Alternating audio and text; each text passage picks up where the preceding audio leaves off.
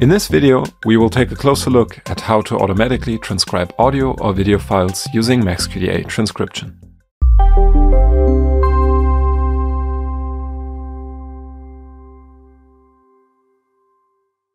The new feature for automatic transcription is part of our AI Assist add-on, which can be purchased via our online shop.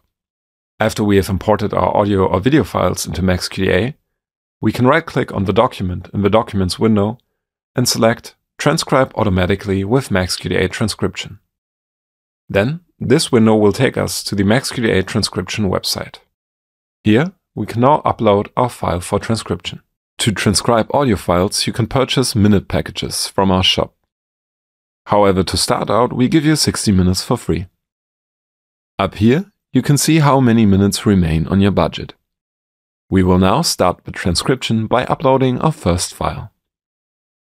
In order to increase transcription accuracy, we can now also add our own vocabulary of special words or phrases here. Furthermore, we can add the pronunciation of words. And when we click this button, the transcription will start and the progress is displayed here. Once the file is transcribed, we can download the finished transcript via this button here. This transcript is optimized for MaxQDA and all we need to do now is switch over to MaxQDA and link our audio file to the transcript.